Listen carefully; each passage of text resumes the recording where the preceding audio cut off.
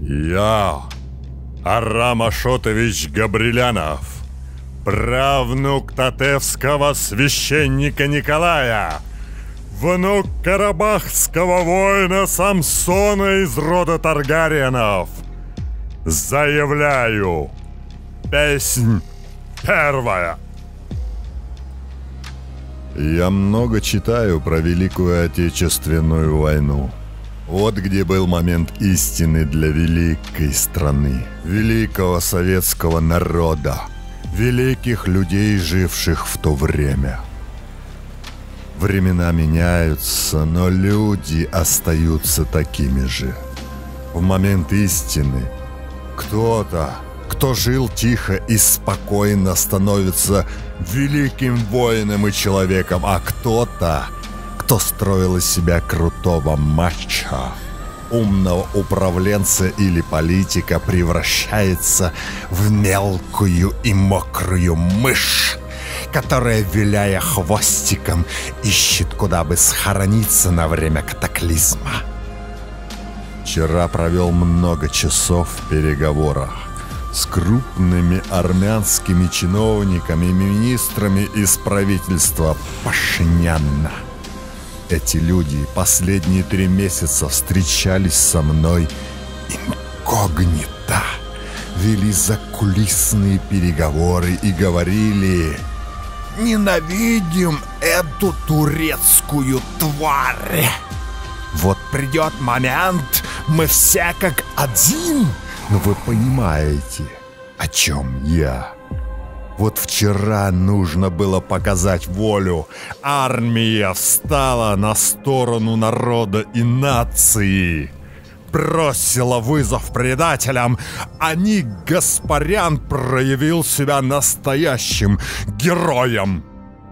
И я увидел свой народ в двух ипостасях. Я увидел, как простые люди — Учителя, врачи, работяги, крепкие бизнесмены проявили волю, смелость, самопожертвованность. И увидел я, как крутейшие бизнесмены, политики, чиновники и в Ереване, и в Москве юлили, мелко хитрили, прятались от звонков, лишь бы не проявить себя публично. Я не буду, конечно, называть фамилии.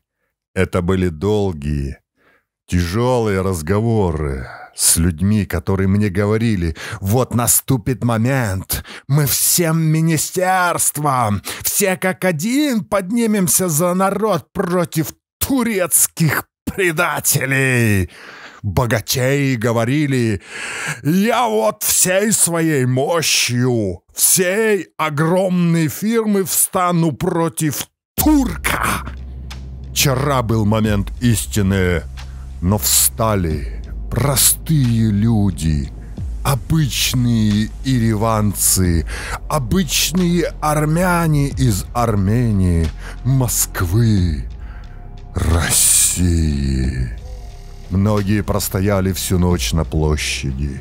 Многие выехали в Ереван на подмогу. Я их знаю, очень уважаю. Ну а те, кто струсили, струсили даже публично высказаться, Бог вам судья. А по-простому, да и хрен с вами. Живите сами со своей совестью. Простые люди без вас справятся и обязательно победят. Турк Никола. И еще многие московские известные армяне мне говорили, «Но мы же москвичи, но мы молчим, потому что ждем отмашки из Кремля». Так вот, что я вам всем скажу. Тот единственный, чье мнение для меня имеет решающее и важное значение, очень смелый и умный человек.